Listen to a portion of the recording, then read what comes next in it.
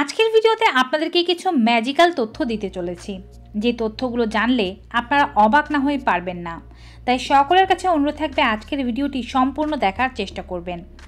আমের মৌসুমে প্রচুর পরিমাণে আম খেয়েছেন।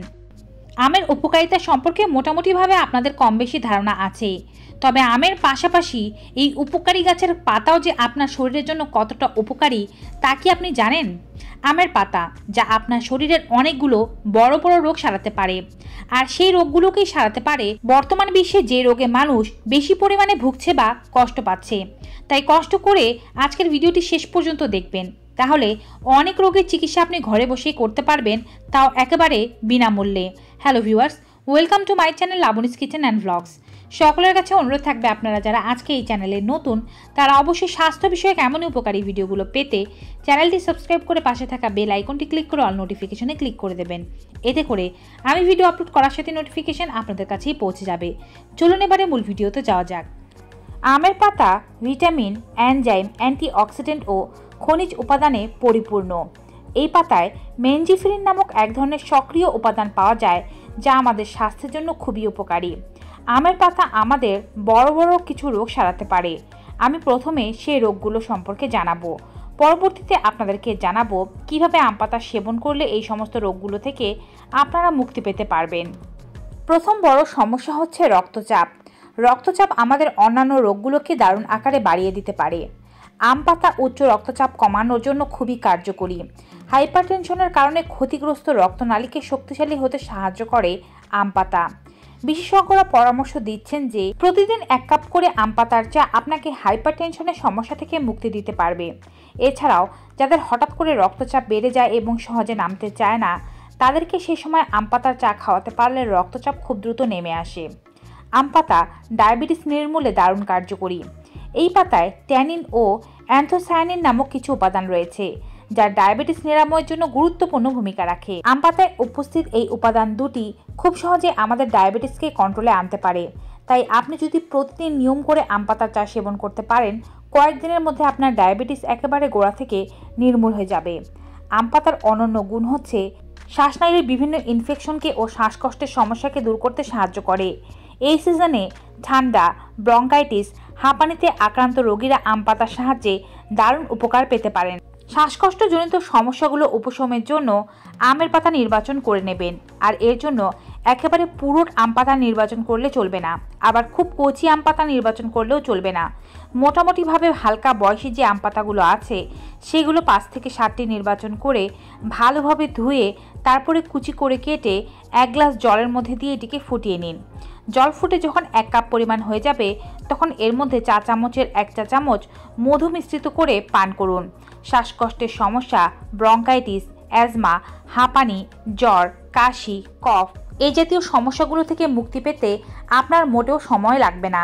এছাড়া, আম পাতার একটি অনন্য গুণ হচ্ছে এটি আপনার কান ব্যথা সারায়।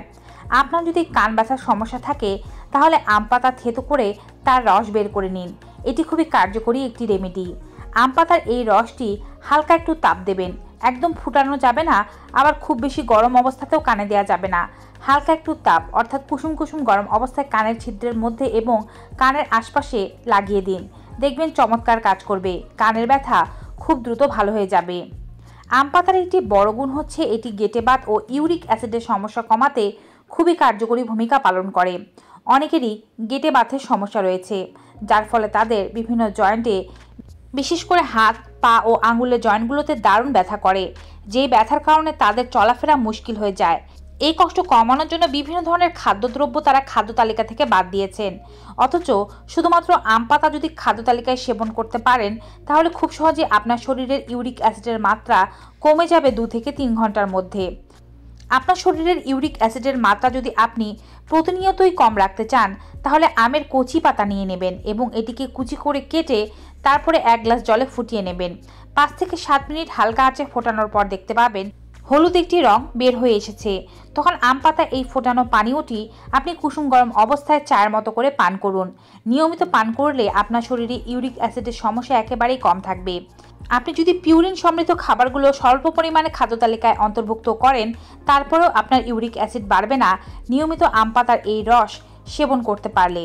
আম পাতা আমাদের স্ট্রেস কমাতে সাহায্য করে। যারা অস্থির, উদ্বিগ্ন অনুভব করেন, তারা এর থেকে মুক্তি পাওয়ার জন্য দু থেকে তিন কাপ আম পাতার চা সেবন করে দেখুন। এটি আপনার স্নায়ুতন্ত্রকে শিথিল করতে সাহায্য করবে। আপনি সতেজ অনুভব করবেন। এছাড়া আপনি কাজের পর অনেক বেশি স্ট্রেসড অনুভব করলে, ক্লান্তি, দুর্বলতা অবসাদ থাকলে সে সময়ও আপনি আম পাতার চা সেবন করতে পারেন। যারা রাতে ভালো ঘুমাতে পারেন না অনিদ্রার সমস্যায় ভুগছেন।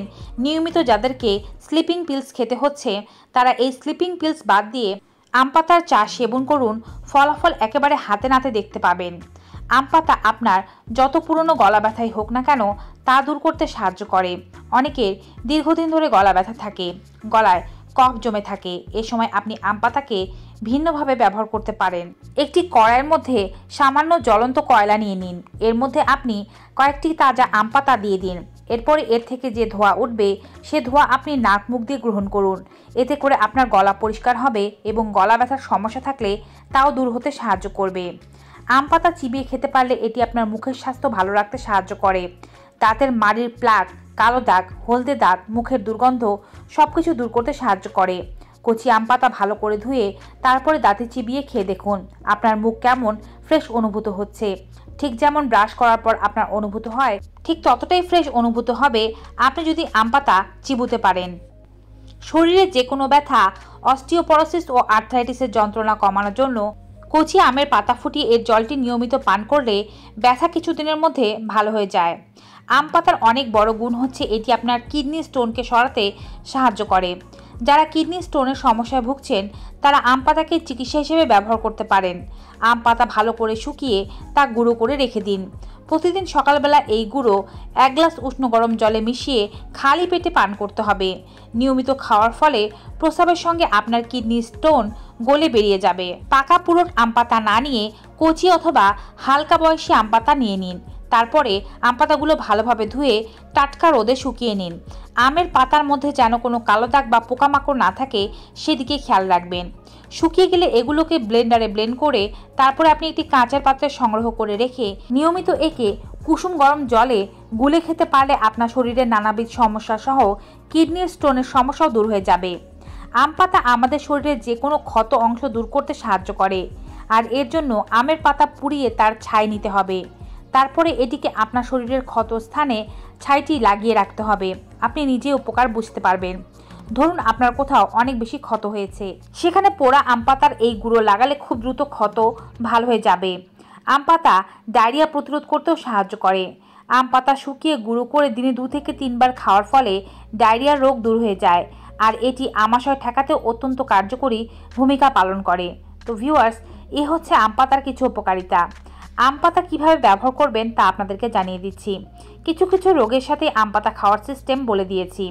এবারে বলছি ডায়াবেটিস এবং শরীরের উচ্চ রক্তচাপের সমস্যা সহ আরও নানাবিধ সমস্যা কমাতে রোজ সকালবেলা খালি পেটে আম পাতার চা পান করুন। আমের যে পাতার অংশগুলো কিছুটা হলদেটে বর্ণ অথবা কিছুটা লালচে বর্ণ থাকে, অর্থাৎ ফোটার কিছুদিন পরে আমের পাতাটি যেমন হয়, সেই ধরনের পাতা নিয়ে নেবেন। তারপরে আমের পাতাগুলো ভালোভাবে ধুয়ে এটিকে যতটা সম্ভব কুচি করে কেটে জলে দিয়ে এটির চা তৈরি করে নিন। এই চায়ের মধ্যে সামান্য পরিমাণে মধু মিশ্রিত করতে পারেন, তবে চা নামানোর পরে। তার আগে মধু মিশ্রিত করা যাবে না, তাহলে মধুর পুষ্টিগুণ নষ্ট হয়ে যাবে। এটিকে আপনি চায়ের মতো করে সিপ আকারে পান করুন। আম পাতা যখন জলে ফোটাবেন, তখন পাঁচ থেকে সাত মিনিট ঢাকনা দিয়ে ফোটাতে হবে এবং দেখবেন যে চায়ের কালার হলুদ বর্ণ ধারণ করেছে। তখন এই চাটি আপনি নামিয়ে নিতে পারেন। এর সাথে আপনি মধু মিশ্রিত করে নিয়মিত এটিকে পান করতে পারলে আপনার শরীরের নানাবিধ সমস্যা এমনিতেই ভালো হয়ে যাবে। তবে চেষ্টা করবেন আপনি এই রেমেডিটি অন্তত পক্ষে সপ্তাহে তিন দিন খেতে। যখন আপনি এটিকে প্রথম খাওয়া শুরু করবেন, তখন আপনি টানা একুশ দিন পর্যন্ত খেয়ে যাবেন। একুশ দিন খাওয়ার পর আপনি শরীরের পরিবর্তনগুলো বুঝতে পারবেন। তারপর প্রতি সপ্তাহ থেকে সাপ্তাহিক দু থেকে তিন দিন খাওয়ার চেষ্টা করবেন। এছাড়াও আরও একটি বিষয় খেয়াল রাখবেন। যে কোনো রেমেডি যখন আপনি খাওয়া শুরু করবেন, তখন দু মাস ব্যবহার করার পরে সেই রেমেডি পরিবর্তন করা ভালো। এতে করে রেমেডির কোনো ক্ষতিকারক বিষয় আপনার শরীরে যাবে না। এর জন্য আপনি যখন আম পাতা খাওয়া ছেড়ে দিবেন, তখন কিন্তু পেয়ারা পাতাও খেতে পারেন। এতেও কিন্তু যথেষ্ট উপকারিতা পাওয়া যায়। তো ভিউয়ার্স আজকের এই গুরুত্বপূর্ণ ভিডিওটি আপনাদের কাছে কেমন লেগেছে কমেন্ট বক্সে জানাতে ভুলবেন না। ভিডিওটি ভালো ও উপকারী মনে হয়ে থাকলে অবশ্যই বেশি মাত্রায় like comment share and subscribe দেখা হবে নতুন একটি ভিডিওতে নতুন কিছু উপকারী তথ্য নিয়ে। Till then goodbye and take care